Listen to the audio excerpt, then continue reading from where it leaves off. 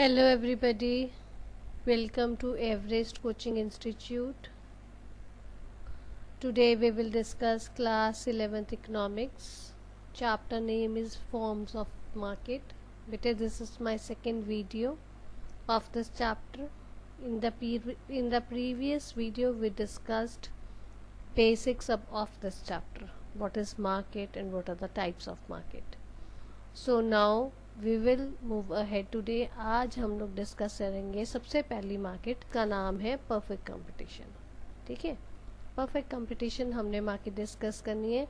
वैसे इसके बारे में आपको काफ़ी पता भी होगा। आपने पिछले चैप्टर्स में काफ़ी अपने हमने डिस्कशन की भी है।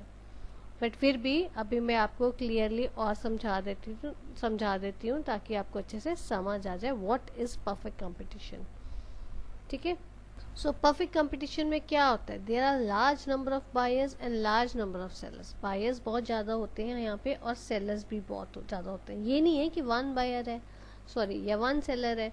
नो नॉट लाइक दिस हर एक जो कॉमोडिटी वहाँ पे सेल हो रही है मार्केट में, उसमें एक फर्म नहीं होगी, बहुत सारी फर्म्स होंगी। एक फर्म जो अकेली होगी, वो भी बहुत सारे प्रोडक्ट्स जो है नंबर ऑफ़ क्वांटिटी मतलब जो है, उसकी यूनिट्स काफ़ी ज़्यादा सेल करेगी और buyers are free to buy any number of commodity अगर मान लो एक फर्म से आपको वो चीज़ नहीं मिलती है ए फर्म से तो आप आपके पास पूरा पूरा राइट है आपके पास कि बायर जो है वो बी फर्म के पास चला जाए। ठीक है? Second is homogeneous product homogeneous product क्या होता है? Homogeneous means identical perfect competition का ये बहुत इंपॉर्टेंट फीचर है कि यहाँ पे जो प्रोडक्ट्स जो गुड्स आपकी सेल या परचेज हो रही हैं, वो आइडेंटिकल होंगी। मींस जितने सारी फर्म्स वो यूनिट्स गुड्स सेल कर रहे हैं, वो सारी फर्म्स के पास सेम तरह के यूनिट्स होंगे। ठीक है? अलग अलग तरह के नहीं होंगे, एक ही तरह के यूनिट्स आइडेंटिकल यूनिट्स होंगे। Next comes perfect knowledge perfect knowledge क्या है कि इसमें जो आ, इसमें परफेक्ट कंपटीशन में क्या होता है? बायर्स जो होते हैं वो फुली अवेयर हो रहे होते हैं कि उनको मार्केट में उस वो कॉमोडिटी का वो प्रोडक्ट का क्या प्राइस प्रिवेल कर रहा है। मतलब उसको पता है कि मार्केट में अगर मान लो for example tomato forty rupees K G बिक रहे हैं तो उसको पता है फोर्टी रुपीज़ के जी बिक रहे हैं। अगर आप मान लो फिफ्टी रुपीज़ या सिक्सटी रुपीज़ सेलर सेल करना चाहे तो आप नहीं लोगे, आप बोल दोगे कि no I don't want to buy कि आज मार्केट में ये रेट ही नहीं है। इसका रेट ही फोर्टी है। और अगर वो फोर्टी रुपीज़ पे आपको सेल कर रहा है तो you are ready to buy any number of quantities ज़रूरी नहीं है आपने वन के जी लेनी है, आप टू के जी थ्री के जी four K G five K G as per your requirement आप खरीद सकते हो। क्योंकि वो उस रेट पे वो जितनी मर्ज़ी बायर परचेज कर सकता है और जितनी मर्ज़ी सेलर सेल कर सकता है। रेट जो है, उसको परफेक्ट नॉलेज है। Then comes he is a price taker जो फर्म होगी firms in the perfect competition जो होती हैं, उनको प्राइस टेकर है। Price taker in the sense कि जो प्रिवेलिंग मार्केट में प्राइस है, उसको उसी रेट पे बेचना पड़ेगा। अभी जैसे मैंने आपको एग्जांपल दी, अगर वो टोमेटोज का रेट सेलर जो कहता है फोर्टी के बजाय वो कहता है, मैंने फिफ्टी या सिक्सटी लेना है तो nobody will buy it वो कोई नहीं लेगा, क्योंकि उनको पता है मार्केट में रेट ही नहीं है ये। जो मार्केट में रेट प्रिवेल कर रहा है, वो फोर्टी रुपीज़ है तो he will buy only at forty forty पे वो कितने यूनिट्स भी ले सकता है बट वो फिफ्टी या सिक्सटी पे नहीं लेगा। इसलिए वो प्राइस टेकर होता है प्राइस मेकर नहीं। ठीक है? परफेक्ट कंपटीशन में जो आपका सेलर है ही इज़ प्राइस टेकर जो प्रिवेलिंग प्राइस है, उस पर ही उसको सेल करना पड़ेगा। Next comes free entry and exit of firms perfect competition में क्या एक बहुत इंपॉर्टेंट फीचर है, वो ये है कि इसमें जो, क्योंकि हमने पहले बोला large number of buyers and sellers buyers भी ज़्यादा होते हैं सेलर्स भी ज़्यादा होते हैं. सेलर्स ज़्यादा तभी होंगे अगर फर्म ज़्यादा होंगी. ठीक है ना? इसलिए यहाँ पे फ्री एंट्री होती है सेलर्स की. फर्म्स की, जैसे मर्ज़ी एंट्री आए जैसे मर्ज़ी जाए। अगर किसी को वो प्रॉफिटेबल वेंचर लगता है किसी फर्म को, वो एंटर कर सकती है। अगर उसको लगता है उसमें उसको कोई फ़ायदा नहीं है तो वो एग्जिट भी कर सकती है। That firm has an full right next comes independent decision making अब इंडिपेंडेंट डिसीज़न मेकिंग क्या होता है? बच्चे देखो, इसमें there are large number of sellers and large number of buyers तो पर इंडिपेंडेंट डिसीज़न मेकिंग का मतलब ये होता है कि जो डिफरेंट सेलर्स हैं उनके बीच में कोई भी एग्रीमेंट या मतलब आपस में म्यूचुअल अंडरस्टैंडिंग नहीं होती प्रोडक्शन के बारे में क्वांटिटी के बारे में के, या प्राइस के बारे में, क्योंकि जो प्रिवेलिंग प्राइस है मार्केट में, उसको उसी प्राइस पे सेल करना पड़ेगा। यहाँ पे सेलर्स में कोई वो नहीं होते, उसकी अपनी मर्ज़ी है। जो आपका फर्म सेलर है, उसकी अपना मर्ज़ी है, उसकी अपनी डिसीज़न है इंडिपेंडेंट है, वो पूरा उसको पता है मार्केट में ये रेट प्रिवेल कर रहा है। अगर वो ज़्यादा पे बेचना चाहता है, वो बेशक बेचे। वो उसकी मर्ज़ी है, वो चाहता है कि वो मार्केट को कैप्चर करे या ना करे। ऑब्वियसली जब वो ज़्यादा रेट लेगा तो उसके पास जो है बायर्स कम आएँगे। और अगर वो प्रिवेलिंग रेट पे बेचेगा तो जितने मर्ज़ी यूनिट्स वो सेल कर सकता ठीक है next comes perfect mobility perfect mobility किस चीज़ की? Perfect mobility is a for the factors of production जितने हमारे प्रोडक्शन में फैक्टर्स उसके यूज़ हो रहे हैं दे आर फ्रीली मोबाइल उनको पूरी छुट्टी है वो जहाँ मर्ज़ी जाएँ, जहाँ मर्ज़ी आए, जौन सी मर्ज़ी फॉर्म के पास जाए जौन सी मर्ज़ी फॉर्म से आए। क्यों?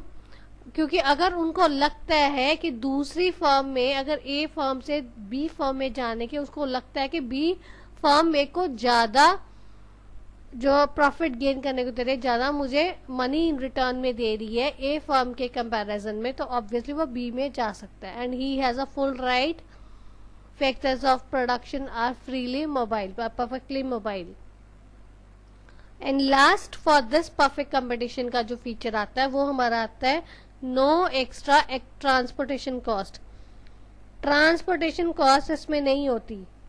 वो क्यों? क्योंकि एक ही प्राइस है जो मार्केट में प्रिवेल करता है और जो कंज्यूमर्स हैं, उनको फुली अवेयर हैं कि ये मार्केट में अगर टमाटोज फोर्टी रुपीज़ के जी मिल रहे हैं तो फोर्टी रुपीज़ ही मिल रहे हैं। ये नहीं कहीं और पे कहीं जा, आगे आपको ना फिफ्टी मिलेगा, ना थर्टी मिलेगा। फोर्टी पे लेने को तैयार हो एंड उस रेट पे आप पहली दुकान पे जाओ या आप आखिरी दुकान पे जाओ it is up to you है नहीं है ट्रांसपोर्टेशन कॉस्ट इसमें, पर ये आपकी मर्ज़ी है। अगर आप जाना चाहते हो तो आप जाओ but it is not required ठीक है? सो ये बेसिक फीचर्स है हमारे परफेक्ट कंपटीशन में। अब आपने ये सारे फीचर्स आपने सुने, इन सारे फीचर्स को आपने समझा। इन फीचर से आपको क्या आप रिज़ल्ट निकाल रहे हो कंक्लूजन क्या निकाल रहे हो परफेक्ट कंपटीशन का? बेसिकली हम ये जो इम्पोर्टेंट कंक्लूजन निकलते हैं, वो ये निकलते हैं। एक तो ये कि number of buyers sorry number of sellers यहाँ पे बहुत ज़्यादा होते हैं। बायर्स होएँगे सेलर्स बहुत ज़्यादा होते हैं। नंबर टू होमोजेनस प्रोडक्ट होगा। होमोजेनस मीन्स आइडेंटिकल प्रोडक्ट होगा। और नंबर थ्री कि he the seller is a price taker and he is not the price maker उसने प्राइस बनाना नहीं है, जो प्राइस प्रिवेल कर रहा है, उसी प्राइस पे वो सेल कर रहा है। एक आप इसमें और डाल सकते हो कि अगर वो जो प्राइस मेक जो प्राइस टेकर है, अगर मान लो फोर्टी रुपीज़ पे टोमेटोज की जैसे एग्जांपल चल रही है हमारी टोमेटोज फोर्टी रुपीज़ पे अगर वो थर्टी रुपीज़ पे बेच रहा है तो अननेसेसरी लॉस वो अपना कर रहा है, किसी और का नहीं कर रहा।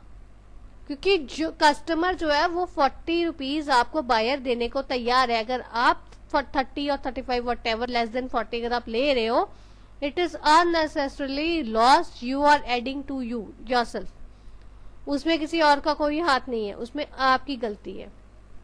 ठीक है? So these are the various important conclusions which we get from this reading all the features of the perfect competition perfect competition के सारे फीचर्स पढ़ने के बाद में हमें ये बात समझ आती है। ये जो आपको मैंने तीन, चार अभी जो मैंने आपको फीचर्स बताए हैं दीज आर वेरी इंपॉर्टेंट आपको अच्छे से पता होना चाहिए। जैसे परफेक्ट कंपटीशन का नाम आए तो आपके दिमाग में हमेशा जो मैंने तीन, चार फीचर्स अभी आपको दोबारा आपको मैंने बताए हैं, वो आपके दिमाग में घूमने चाहिए कि परफेक्ट कंपटीशन मीन्स ऐसे होना है।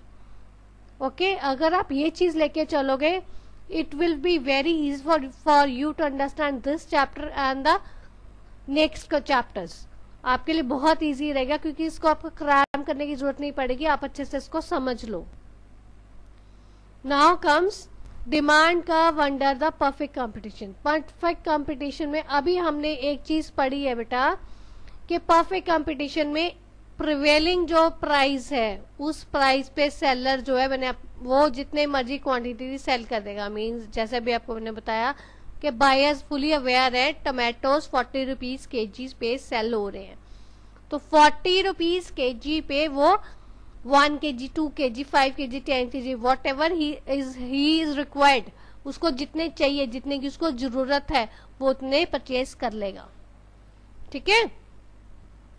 सो परफेक्ट कंपटीशन में इस चीज़ से आपको एक बात समझ आती है कि उस रेट पे, जो रेट हमारा प्रिवेल कर रहा मार्केट पे, उस रेट पे वो कितने भी यूनिट सेल कर सकता है, कम भी कर सकता है, ज़्यादा भी कर सकता है।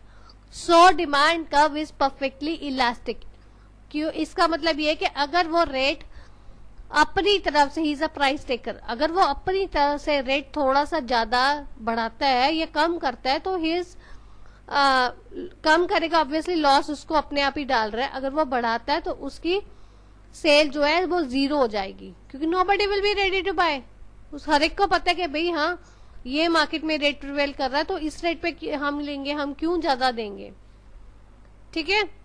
तो अब हम चलते हैं ये डायग्राम ये देखो, इसका जो डायग्राम है आपका